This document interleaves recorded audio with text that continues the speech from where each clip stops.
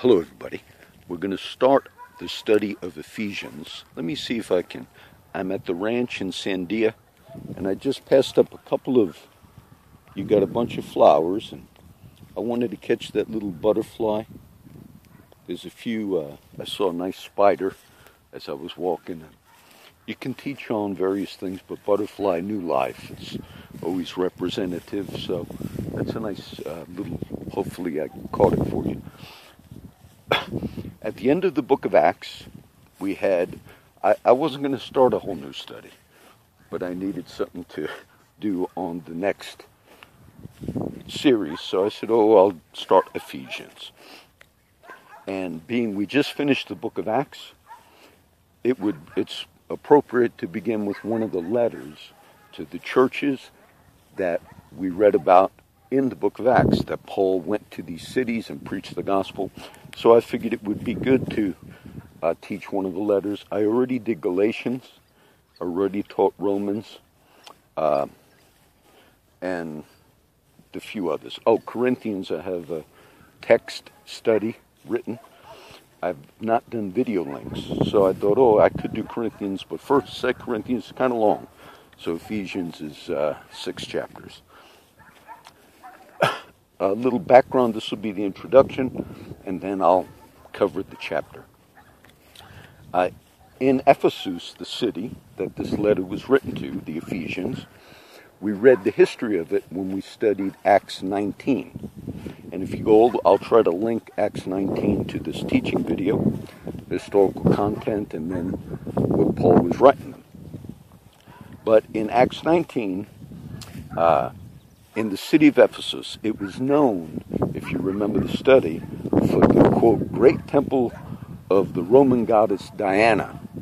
And in the Greek, it's Artemis, that goddess. So you uh, have different translations. You know, certain Bibles will actually say Artemis in them.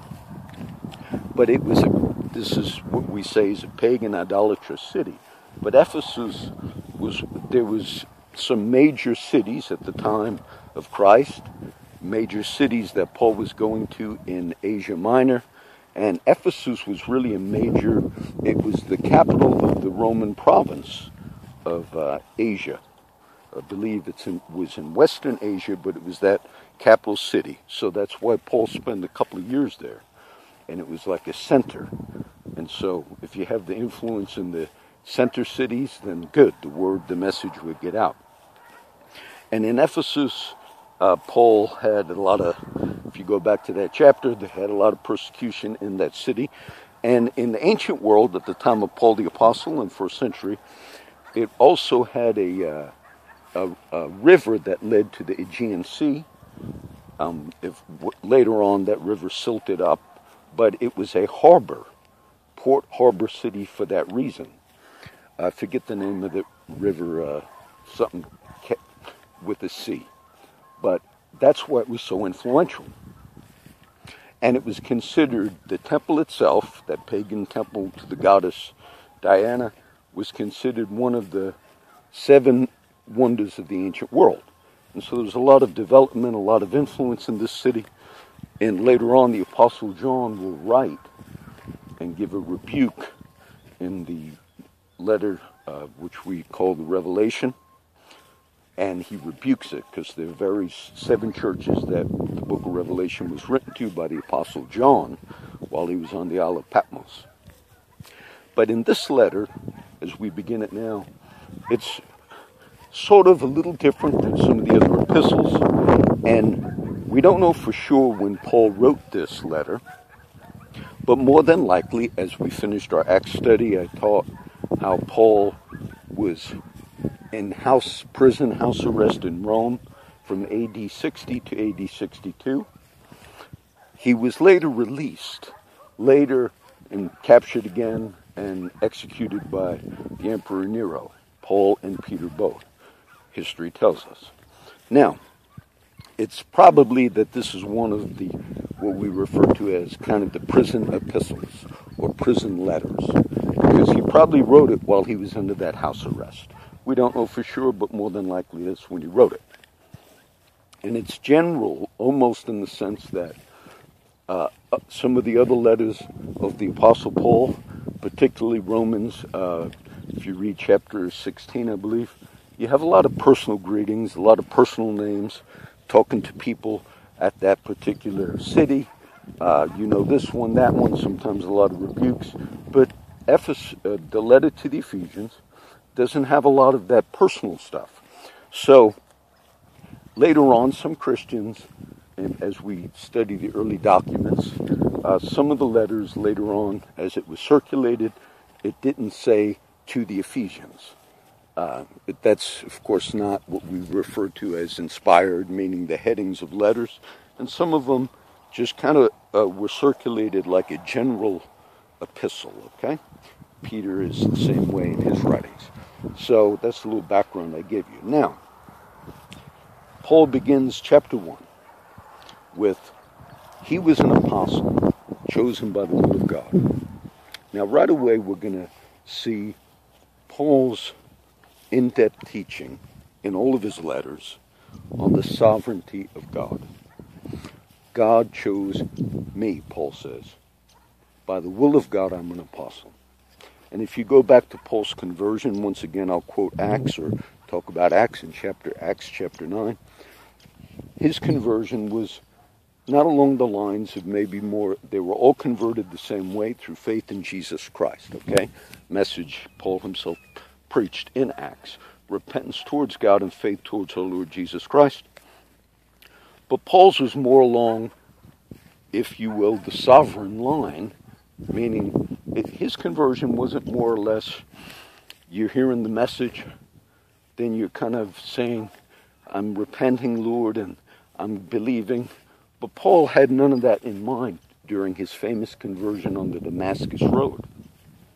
If you go back to Acts chapter 9, he was on the way persecuting Christians, fighting against Jesus Christ, going after the followers of Jesus, and then he had this intervention. The Lord appeared to him. Paul, Paul, why persecutest thou me? And Paul asked, Who are you? I'm Jesus whom you're persecuting. It's hard for you, Paul, to kick against the pricks. The famous conversion of Paul. What will you have me to do? And then he's sent and he's converted, Paul. Believes and is baptized. So he sees the sovereignty of God, meaning man, God just intervened and stopped me in my tracks and made me a believer. And you see that theme in all of the letters of Paul. More so, maybe, it's all through the New Testament, particularly the Gospel of John. Out of the four Gospels, John also has a lot of statements. Uh, no man can come to the Father. These are the words of Jesus himself. No man can come to uh, me unless my Father in heaven draw him. All that the Father give to me will come to me him that cometh to me, I will in no wise cast out. Now, as you look at all those statements uh, from Jesus himself in the Gospel of John, you have not chosen me, but I have chosen you and ordained you that you should go and bring forth fruit. All of those are saying and showing us that the only ones that can come to believe are the ones that God brings to believe. He cho- chooses us. And yes, in the experience of conversion, we tell people about the gospel and we and we make that invitation. We tell them, accept the Lord. And oftentimes we hear this language in evangelicalism, accept the Lord, which is okay. Choose the Lord, which is okay. But in the if as you're going back into the mind of God, we understand that He chose us. Okay, and there's a lot of scriptures on that in the Bible, and some of the most famous ones are right in this chapter. So Paul begins by addressing the Ephesians. says, I'm an apostle by the will of God. Then grace and peace unto you through Jesus Christ. Grace and peace. That's the message of grace. Now, blessed be the God and Father of our Lord Jesus Christ, has blessed us with all spiritual blessings in heavenly places in Christ, according as he has chosen us in him before the foundation of the world, that we should be holy and without blame before him in love, having predestinated us unto the adoption of children by Jesus Christ to himself, who works all things according to the counsel of his own will, in whom we have redemption forgiveness of sins through his blood, that we're accepted. He has made us accepted because of the death of Christ. He has made us accepted. That we should be holy without blame, righteous in. So he begins by, by laying that down. God chose us, picked us before the worlds were made, okay? Before anything was, he had the church in mind.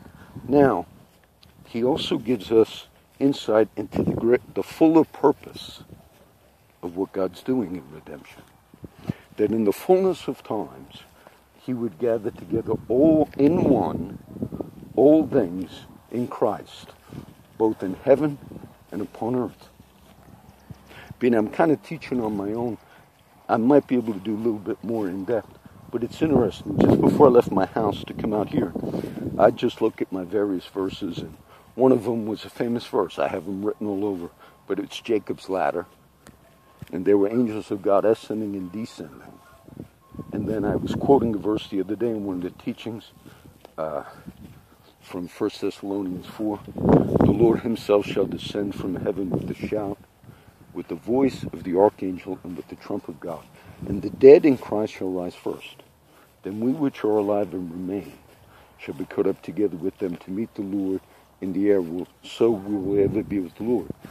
So what we're seeing is, in time, God is redeeming things. He's bringing everything back. If you go back to one of the videos I did with one of my street friends, uh, I forget what it's titled, but that friend, uh, that was Little Charlie. And if you listen to the things that he was sharing, even though they have all these problems, he said, John, every molecule Everything is giving glory to God. And God is bringing all of it back. If you listen to it, it's kind of what Paul is saying in this uh, verse I just quoted. That God's purpose for the church, we're, we're just the beginning of it, the first fruits. And this is the important role that people play. In case I forget to mention it, at the last verse of this chapter, it, it's we're gonna I'm gonna talk a little bit more, but it says all the great power that God did when He raised Jesus from the dead. The last verse says, "And we are His body." Now I understand we, most of us as preachers and teachers, students of Scripture, understand that we are called the body of Christ. Paul talks about that a lot in Corinthians. And but also look at the power of that. Jesus was raised bodily physically from the dead. And he ascended physically, physically into the realm that we, we say he's seated at the right hand of the Father. So he's in a position of great authority, all authority. It's in this chapter as well. But in the earth, the Spirit of God, the Spirit of Christ Himself, is in us. We are His body. So this there's this like great work of redemption continuing to be carried out through us. And everything's uh, in this process of all things in one. That God's gonna everything is gonna be a new heavens and new earth. Now Paul prays for them. He talks about the power that God has made available to us the same power that raised Jesus from the dead and the Spirit of God is now in us. And it's through us that God's accomplishing all of these great mysteries, all of these great things. And then Paul has a prayer. He says, I pray that the eyes of your understanding would be opened, that you would see what's actually happened, that you would understand Paul had all this wisdom and revelation. There's a verse in this chapter, of Ephesians 1. It, it says, Who abounded unto us in all wisdom and prudence. That's the old King James. The little interpretation note said wisdom and understanding. No, I actually, there's a verse I quoted or wrote down a while ago, but it says, The Spirit of God gives us wisdom and discretion. So I, so I liked the word prudence in the old English version because the Spirit of God has given us wisdom and also prudence and discretion. So, meaning there's a lot of responsibility that comes with your eyes being opened to seeing the greater picture. We have a lot of power as in the church as believers. The Spirit of God is in us. And the word of the Lord, there are many examples I could give you, and I've given you some as we did the book of Acts. One was comes to mind was in the early church, I think it was Acts 5, but some Christians, it's famous story because some Christians, a lot, a lot of them were selling their properties and bringing the money to the apostles and laying the money down at the apostles' feet. And as distribution was made, they were helping one another out. And then the famous case of Ananias and Sapphira, Ananias and Sapphira, a husband and wife who had a certain uh, land and they sold it. And they brought part of the money, which would have been okay, but they made it look like they brought all of the money. Peter, the apostle, says, Is this all the money? And oh, yes, we brought it all like everybody else is doing. And he says, Look, well, you, well, you had the property, it was yours. You could do whatever you did want with it. But why has Satan filled your heart to lie to the Holy Spirit? And then the judgment from Peter, because he spoke that, the husband dies. Then the wife comes in and he asks, he says, Is this what you sold it for? Oh, yes. So they're lying in that moment. Now, the power that Peter had as a believer and as an apostle, he said, The people that carried your husband out are at the door. He's dead. She didn't know. They're going to carry you out. She dropped down dead. Now, if Peter never did that, if Peter simply made the decision to say, God's grace is going to forgive you right now, and that could have also been a great witness. But he had the keys. We also have the keys, meaning we have authority. And so the fact that he spoke under the anointing and the power of God, it did in fact change things. And there are nations and kingdoms and governments in the earth, and they execute power and authority through decrees, through judicial systems, so forth. The church has greater power than all of that. Because even in this chapter it says, in the resurrection of Jesus, seated at the right hand of the throne of God, it says, all principalities and powers and kingdoms, every name that can be named, is under that. It's under that authority of Jesus. So that's what he is praying. I, like I give you the interpretation wisdom and prudence. Because Paul's prayer is that they would see what, the, what has happened in this thing, this redemption, and that they would see this broad scope of it. and if you see it, you begin to enter into it, you'll also begin to see you have the keys of the kingdom as well. Whatever you bind on earth is bound in heaven. Whatever you loose on earth is loose in heaven. So he's saying there's great responsibility with it. And uh, Peter, that little uh, example I just gave you, I, I, wonder sometimes as I read through, read the writings in the New Testament, First, Second Peter as well, if he maybe dealt with his own when he made those harsh judgment calls, like the one I just gave you. I always wondered if it reminded him of his own denials of the Lord that he knew through personal experience what it's like to be in the presence of God, to see and be with Jesus, and then under a time of test, which was Peter's three, deni- uh, three denials, that you give into that. Like, why are you lie? Why did you lie, Peter? I'm sure he that went through his head a million times.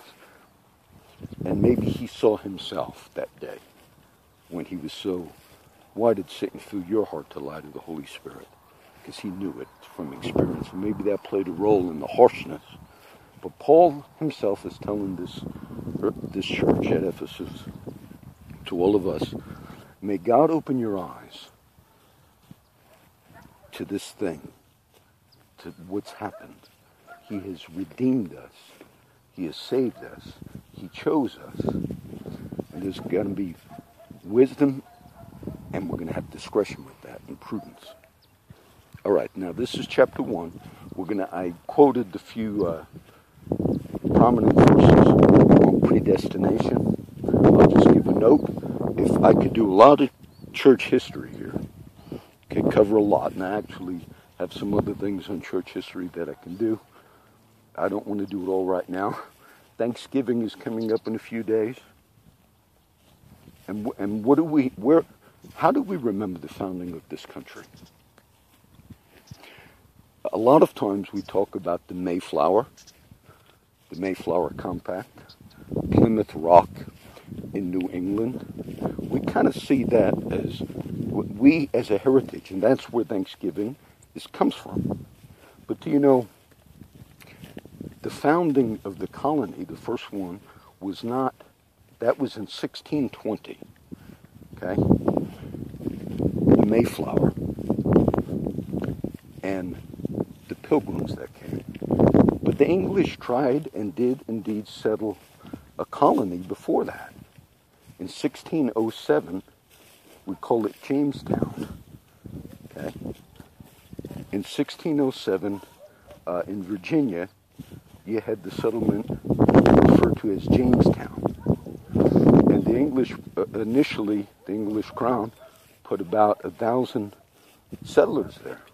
And these were people that were uh, mostly men, but men that they knew, look, this is going to be a rough job, but we're going to try and settle.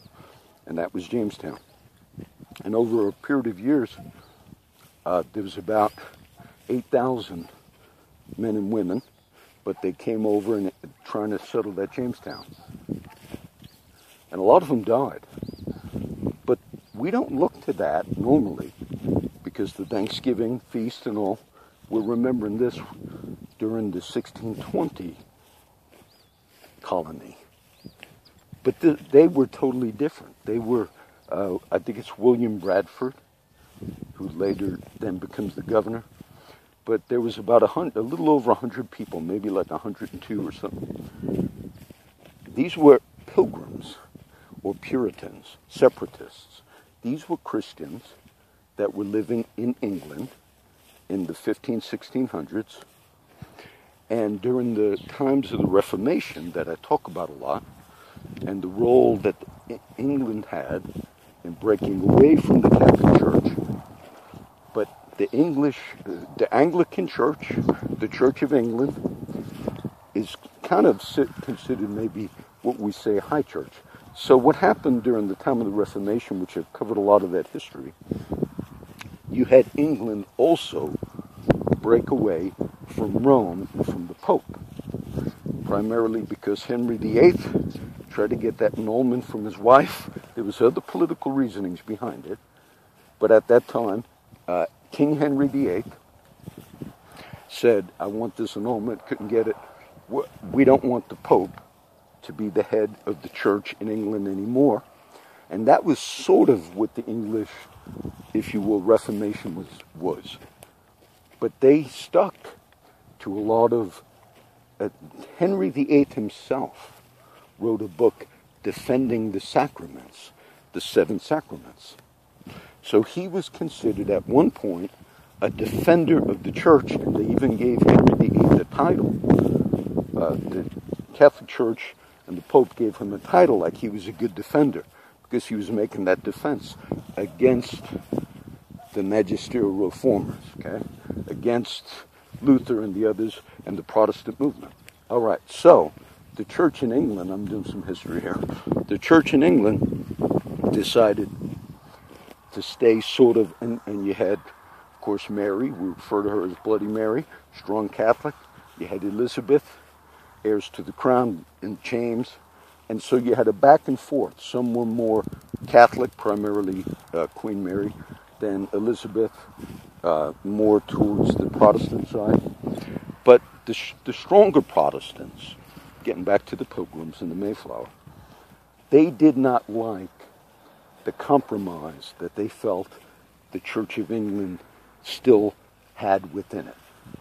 Because it was still sort of somewhat of a Catholic church. To the strong Protestants that were living in England, like the ones that you'd find in, also in Germany and Switzerland, the strong reformers and the strong Protestants said, no, we want to separate from all that. They had their views and they said, we don't like the whole concept of hierarchy and the bishops and all that. And so some of them eventually went to Holland. I think, I think it's an area called Leiden. So these people said, we want to worship in freedom. And they were from Puritan heritage, saying, we still want more reform in the church. Eventually, they decided to come to the New World. They boarded a ship called the Mayflower. And there were women and children and men. But we often forget that journey was treacherous and people did indeed die. But then they planted, if you will, the colony in New England and this famous Plymouth Rock. And for them to have succeeded, and William Bradford becomes the governor, they were doing all this. There's even writings that we have from William Bradford quoting the, the letter to the Hebrews, talking about we look for a city that has foundations. Hebrews 11, whose builder, or 12, 11 or 12, whose builder and maker is God. They look for a city. And so these are referred to as the pilgrims of the Puritans. And then they landed. And then they did indeed establish a commonwealth, a colony. They succeeded. And if you think of it, the odds of them succeeding like that, because like I said in 1607, the English were already trying to establish Jamestown, which they did, but uh, this group on the Mayflower, for them to have actually succeeded and for us to look back really to that time, more so than we do to the Jamestown settlers. Very interesting, okay? So I'll throw some of that out in because it's on Thanksgiving in a few days. But Paul himself is saying to these early believers, God picked us and God chose us. He predestined us.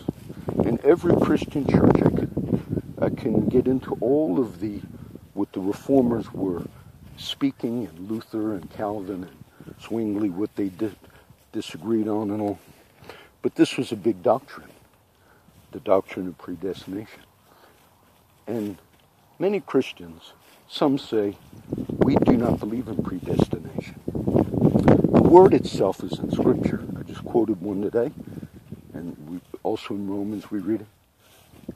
Everybody believes in some doctrine of predestination, okay? Because it's in Scripture. Every Christian does. There are different ways people interpret it. But the most important thing I'll just throw in this initial one. It's sometimes it's hard for us to, as students of Scripture, say it's hard for us to believe a certain thing that God shows us because it doesn't seem to fit in all the later outcomes, all the other things. Certain things don't seem fair. But remember, we are, if you get the broader scope, that ultimately the purpose of God is to, for everything, all creation, Paul teaches in Romans as well, all, Romans 8, all creation is in this process of redemption. So if you get the broader scope, then maybe we don't fight so much over the technical details of various things that we don't fully understand. So that's what we see in Ephesians 1. So uh, let me end. I did some history on this one. We'll, we'll go through. I gave you a little background. I'll have to do a little writing because I didn't write on uh, Ephesians. I don't have a commentary presently. I have some little notes I wrote in the past. So, uh, follow along in this study. I'm still going to finish our Kings, still doing Kings, and we've already concluded the book of Acts. Okay, Father, I, I pray a blessing on everybody that watches this video whenever they see it, years and years from now, or maybe a, a few weeks after I make these. And I pray that you would instill in everybody that they would see also the bigger picture, that they themselves would just read this chapter these verses that I quoted, and that they would just read these verses and believe them. And, and believe them. And that you would uh, work in each and every person. We ask it in Jesus' name. Amen.